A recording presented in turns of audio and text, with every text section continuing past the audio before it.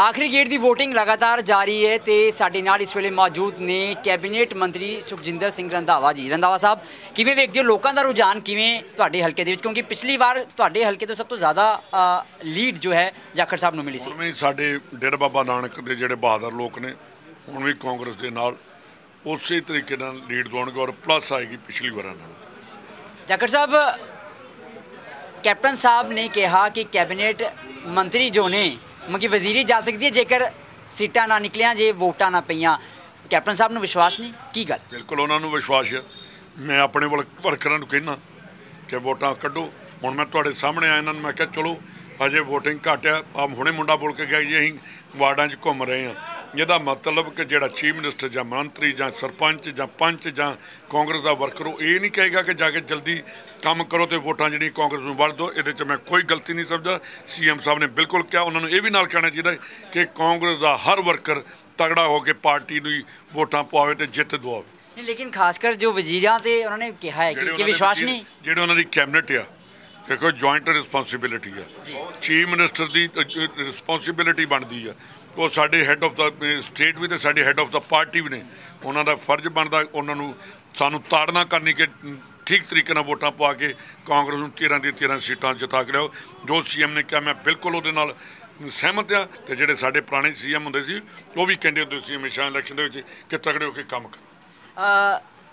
ਰੰਧਾਵਾ ਸਾਹਿਬ ਤੁਹਾਨੂੰ ਕਿਵੇਂ ਲੱਗਦਾ ਹੈ ਕਿ ਅਬੋਹਰ ਤੋਂ ਵਾਇਆ ਗੁਰਦਾਸਪੁਰ ਦੁਬਾਰਾ ਦਿੱਲੀ ਪਹੁੰਚਣਗੇ ਜਾਂ ਫਿਰ ਬੰਬੇ ਵਾਲੇ ਵਾਇਆ ਗੁਰਦਾਸਪੁਰ ਦਿੱਲੀ ਪਹੁੰਚਣਗੇ? ਬਿਲਕੁਲ ਅਸੀਂ ਮੈਂ ਅਬੋਰ ਨਹੀਂ, ਸੁਨੀਲ ਜਾਖੜ ਗੁਰਦਾਸਪੁਰ ਹੀ ਆ ਔਰ ਗੁਰਦਾਸਪੁਰ 'ਚੋਂ ਪਹਿਲਾਂ ਜਦੋਂ ਉਹਨਾਂ ਨੇ ਇਲੈਕਸ਼ਨ ਲੜੀ ਬਾਈ ਇਲੈਕਸ਼ਨ ਕੀਤੀ, ਉਹਦਾ ਪਹਿਲਾਂ ਹੀ ਕੈਪਟਨ ਅਮਰਿੰਦਰ ਸਿੰਘ ਨੂੰ ਕੁਐਸਚਨ ਸੀਗਾ, ਸਵਾਲ ਸੀਗਾ, ਕਹਿੰਦਾ ਜੀ, ਜੇ 2019 ਦੀ ਇਲੈਕਸ਼ਨ ਲੜਨੀ ਆ ਮੈਂ ਉੱਥੇ ਇਲੈਕਸ਼ਨ ਲੜਨ ਜਾਵਾਂਗਾ ਅਦਰਵਾਈਜ਼ ਮੈਂ ਬਿਲਕੁਲ ਨਹੀਂ ਜਾਵਾਂਗਾ। ਉਸ ਟਾਈਮ ਇਸ ਕਰਕੇ ਇਹ ਨਹੀਂ ਤੁਸੀਂ ਕਹਿ ਸਕਦੇ ਬੰਬੇ ਵਾਲਾ ਤੇ ਤੁਸੀਂ ਮੈਨੂੰ ਸੁਣਾਈ ਜਾ ਰਹੇ ਹੋ। ਤੁਸੀਂ ਫਿਰੋਜ਼ਪੁਰ ਵਾਲਾ ਜਿਹੜਾ ਪ- ਸੁਖਵੀਰ ਬਾਦਲ ਜਾਂ ਹਰਸਿਮਰਤ ਬਾਦਲ ਉਹ ਵੀ ਤੇ ਕਿਤੇ ਬਾਹਰ ਬੂਰ ਹੀ ਰਹਿੰਦੇ ਨੇ। ਤੇ ਇਹ ਤੇ ਸੁਨੀਲ ਜਾਖੜ ਤੇ ਉਹਨਾਂ ਨਾਲ ਵੱਧ ਇਲਾਕੇ ਚ ਰਹਿੰਦਾ। ਤੇ ਇਸ ਕਰਕੇ ਮ, ਇਹਨੂੰ ਇਹ ਨਹੀਂ ਕਿਹਾ ਜਾ ਸਕਦਾ ਜਿਹੜੇ ਲੀਡਰ ਹੁੰਦੇ ਨੇ ਉਹਨਾਂ ਲਈ ਪੰਜਾਬ ਦੇ ਵਿੱਚ ਕਿਤੇ ਵੀ ਲੜਨਾ। ਔਰ ਪਿਛਲਾ ਤੁਸੀਂ ਰਿਕਾਰਡ ਕਢਾ ਕੇ ਵੇਖ ਲਓ ਜਿੰਨਾ ਸੁਨੀਲ ਜਾਖੜ ਇਲਾਕੇ ਦੇ ਵਿੱਚ ਰਿਹਾ ਮੈਂ ਇਹ ਨਹੀਂ ਕਹਿੰਦਾ ਕਿ ਵਿਨੋਦ ਖੰਨੇ ਨੇ ਵੀ ਇਹਨਾਂ ਨਹੀਂ ਕੱਢਿਆ। ਮੈਂ ਕਹਿੰਦਾ ਪ੍ਰਤਾਪ ਬਾਜਵਾ ਵੀ ਇੰਨੀ ਵਾਲਾ ਸਾਡੇ ਇਲਾਕਿਆਂ 'ਚ ਨਹੀਂ ਪਹੁੰਚੇ। ਤੇ ਜਿਸ ਬੰਦੇ ਨੇ ਸੇਵਾ ਕੀਤੀ ਹੋਏ ਉਹਨੂੰ ਕ੍ਰੈਡਿਟ ਤੇ ਉਹਨੂੰ ਉਹਦਾ ਰਿਵਾਰਡ ਮਿਲਣਾ ਚਾਹੀਦਾ। ਮਤਲਬ ਹੁਣ ਵੀ ਪ੍ਰਤਾਪ ਬਾਜਵਾ ਸਾਹਿਬ ਦਾ ਸਾਥ ਨਹੀਂ ਮਿਲ ਰਿਹਾ ਸਮਝਿਆ ਜਾਵੇ?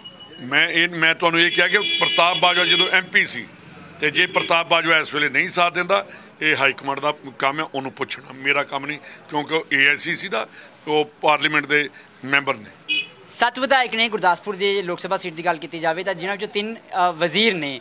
ਤੁਸੀਂ ਦਿਖੇ ਹੋ ਫੀਲਡ ਦੇ ਵਿੱਚ ਜਾਂ ਫਿਰ ਪਾੜਾ ਸਾਹਿਬ ਦਿਖੇ ਨੇ ਕੋਈ ਹੋਰ ਕਿਉਂ ਨਾਲ ਨਹੀਂ ਆ ਕਿ ਰਿਹਾ? ਉਹਨਾਂ ਨੂੰ ਦੱਸਣ ਜਿਹੜੇ ਵਰਕਰ ਹੁੰਦੇ ਆ ਫੀਲਡ 'ਚ ਰਹਿੰਦੇ ਨੇ। ਤੇ ਸਾਡੇ ਬਾਕੀ ਮੰਤਰੀ ਤ੍ਰਿਪਤ ਬਾਜਵਾ ਕੱਲ੍ਹ ਅਸੀਂ ਇਕੱਠੇ ਸੀਗੇ ਉਹ ਵੀ ਫੀਲਡ 'ਚ ਨੇ।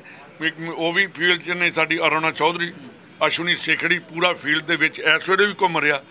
ਫਤਿਹ ਬਾਜਵਾ ਕੱਲ ਸ਼ਾਮੀ ਧਾਰੀਵਾਲ ਅਸੀਂ ਇਕੱਠਿਆਂ ਕੱਢਿਆ। ਤੇ ਇਹ ਨਹੀਂ ਆਪਾਂ ਕਹਿ ਸਕਦੇ ਕਿ ਤੁਹਾਡੇ ਐਮਐਲਏ ਫੀਲਡ 'ਚ ਨਹੀਂ ਸਾਡੇ ਐਮਐਲਏ ਨਹੀਂ।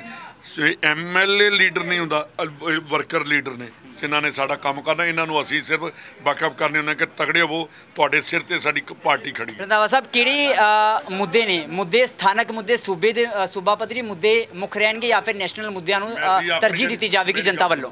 ਮੈਂ ਆਪਣੇ ਇਲਾਕੇ 'ਚ ਮੈਨੂੰ ਨੈਸ਼ਨਲ ਮੁੱਦੇ ਬਾਅਦ 'ਚ ਨੇ। ਪਹਿਲਾਂ ਮੇਰੇ ਆਪਣੇ ਇਲਾਕੇ ਦੇ ਮੁੱਦੇ ਨੇ। ਨੈਸ਼ਨਲ ਮੁੱਦਾ ਮੇਰੇ ਲਈ ਇਹ ਹੈ ਕਿ ਪਾਕਿਸਤਾਨ ਨੂੰ ਅਸੀਂ ਕਦੀ ਸਿਰ ਨਹੀਂ ਚੁੱਕਣ ਦਿਆਂਗੇ। ਮੇਰਾ ਮੁੱਦਾ ਇਹ ਆ ਕਿ ਮੋਦੀ ਨੇ ਮੇਰੇ ਪੰਜਾਬ ਨੂੰ ਗੁਰੂ ਨਾਨਕ ਸਾਹਿਬ ਦੇ ਸ਼ਤਾਬਦੀਆਂ ਲਈ ਅੱਜ ਤੱਕ 1 ਰੁਪਈਆ ਨਹੀਂ ਦਿੱਤਾ। ਇਹਨੂੰ ਇਹਨੂੰ ਮੈਂ ਨੈਸ਼ਨਲ ਮੁੱਦਾ ਸਮਝਦਾ। ਅਕਾਲੀ ਦਲ ਨੇ ਆਪਣੀ ਜ਼ਬਾਨ ਕਿਉਂ ਬੰਦ ਰੱਖੀ ਆ?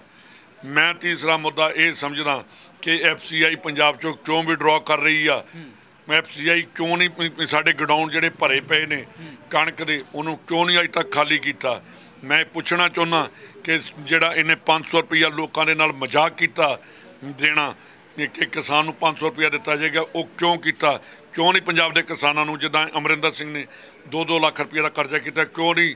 ਇੱਕਦਮ ਉਹਨੇ ਭੇਜਿਆ। ਤੁਸੀਂ ਜਾ ਕੇ ਕੈਲਕੂਲੇਟ ਕਰ ਲਿਓ 500 ਰੁਪਏ ਦੇ ਹਿਸਾਬ ਦਾ ਤੇ 200 2 ਲੱਖ ਰੁਪਏ ਦਾ ਹਿਸਾਬ ਲਾ ਲਿਓ। ਪੰਜ 12 5 60 6000 ਬਣਿਆ। ਇਹ 33 ਸਾਲ 4 ਮਹੀਨੇ ਚ ਤੇ 2 ਲੱਖ ਰੁਪਇਆ ਲੋਕਾਂ ਕੋਲ ਜਾਏਗਾ। ਤੇ ਸਾਡੇ ਚੋਂ ਕਿੰਨੇ 33 ਸਾਲ ਹੋਰ ਜੀਣਾ? ਤੇ ਇਹ ਜਿਹੜੀਆਂ ਚੀਜ਼ਾਂ ਨੇ ਇਹ ਸਾਡੇ ਨੈਸ਼ਨਲ ਮੁੱਦੇ ਨੇ। ਤਾਂ ਇਹ ਇਸ਼ੂ ਤੁਸੀਂ ਸੂਬਾ ਪੱਧਰੀ ਮੰਨਦੇ ਹੋ ਜਾਂ ਨੈਸ਼ਨਲ ਮੰਨਦੇ ਹੋ? ਮੈਂ ਇਹਨੂੰ ਨੈਸ਼ਨਲ ਮੰਨਦਾ। ਸਾਡੀ ਸਰਕਾਰ ਨੇ ਬੈਠੇ ਨੇ। ਜੋ ਕੁਝ ਪਾਰਕ ਬਣ ਰਿਹਾ ਉਹ ਵੀ ਪੰਜਾਬ ਸਰਕਾਰ ਦੇ ਰਹੀ ਆ। ਜਿਹੜੇ ਤੇ ਆਹ ਸਾਹਮਣੇ ਆ, ਜਿਹੜੀ ਜ਼ਮੀਨ ਹੈ ਅਸੀਂ ਐਕਵਾਇਰ ਕਰ ਲਈ 34 ਕਿੱਲੇ। ਆ ਸਾਹਮਣੇ ਜਿਹੜੀ ਆ, ਇੱਥੇ ਸਾਡਾ ਕੰਪਲੈਕਸ ਬਣੇਗਾ। ਮੰਡੀ ਅਸੀਂ ਬਾਹਰ ਕੱਢ ਦਿੱਤੀ। ਜਾਂ ਜਿੰਨੀਆਂ ਸੜਕਾਂ ਨੇ, ਸਾਰੀਆਂ 33 33 ਫੁੱਟ ਕਰ ਦਿੱਤੀਆਂ ਨੇ। ਸਰਾਵਾਂ ਬਣ ਗਈਆਂ। ਹਸਪੀਟਲ ਜਿਹੜਾ ਕਮ- ਜਿਹੜਾ ਸਾਡਾ ਕਮੇਟੀ ਦਾ ਥਾਂ, ਉੱਥੇ ਅਸੀਂ ਕਮੇਟੀ ਨੂੰ ਬਾਹਰ ਚੁੱਕ ਕੇ ਲੈ ਆਉਣ ਲੱਗਿਆ। ਉਸ ਥਾਂ ਨੂੰ ਅਸੀਂ ਜਿਹੜੀ ਐਮਰਜੈਂਸੀ ਹਸਪੀਟਲ ਉੱਥੇ ਉਹਦਾ ਐਮਰਜੈਂਸੀ ਨਵੀਂ ਬਣਾਉਣ ਲੱਗੇ। ਅਸੀਂ ਕਰ ਰਹੇ ਹਾਂ ਵਾਹਿਗੁਰੂ ਦੀ ਗੁਰੂ ਨਾਨਕ ਸਾਹਿਬ ਕਰ ਰਹੇ ਮੈਂ ਨਹੀਂ ਕਰ ਰਿਹਾ। ਮੈਂ ਕਹਿੰਦਾ ਕਿ ਨਾ ਇਹਦੇ ਚ ਅਮਰਿੰਦਰ ਸਿੰਘ ਦੀ ਆ ਨਾ ਕਿਸੇ ਦੀ ਆ। ਇੱਥੇ ਲੋਕਾਂ ਦੇ ਜਿਹੜੀਆਂ ਰੋਜ਼ ਦੀਆਂ ਅਰਦਾਸਾਂ ਤੇ ਅਕਾਲ ਪੁਰਖ ਦੀ ਗੁਰੂ ਨਾਨਕ ਸਾਹਿਬ ਨੇ ਇਹ ਲਾਂਘਾ ਜਿਹੜਾ ਖੋਲਿਆ ਮੇਰਾ ਆਖਰੀ ਸਵਾਲ ਪਿਛਲੀ ਵਾਰ ਅੱਜ ਦੇਖਿਆ ਜਾਵੇ ਵੋਟ ਮਾਰਜਨ ਜੋ ਸੀ ਜਿੱਤ ਦਾ ਮਾਰਜਨ 1,93,000 ਦੇ ਨੇੜੇ ਸੀਗਾ।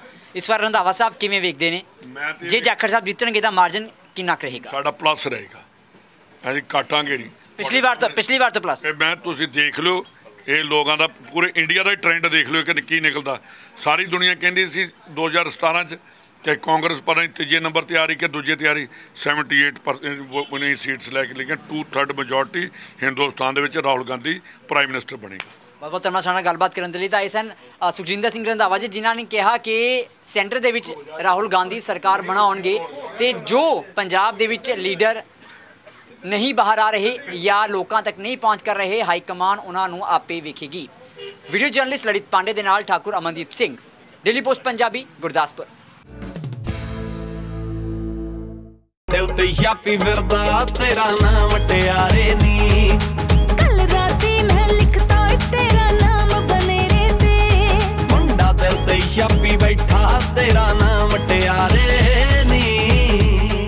ਕੈਨੇਡਾ SDS ਪ੍ਰਣਾਲੀ ਦੇ ਅੰਦਰ 1 ਸਾਲ ਦੀ ਫੀਸ 1 ਸਾਲ ਦੀ GIC ਅਤੇ IELTS ਵਿੱਚ 6 ਈਚ ਬੈਂਡ ਹੁਣ ਲਾਜ਼ਮੀ ਕਰ ਦਿੱਤੇ ਗਏ ਹਨ। ਸੋ ਜੇ ਤੁਸੀਂ ਸਪਟੈਂਬਰ SDS ਸਕੀਮ ਤਹਿਤ ਅਪਲਾਈ ਕਰਨਾ ਚਾਹੁੰਦੇ ਹੋ ਅੱਜ ਹੀ ਕੰਟੈਕਟ ਕਰੋ। 92563 92563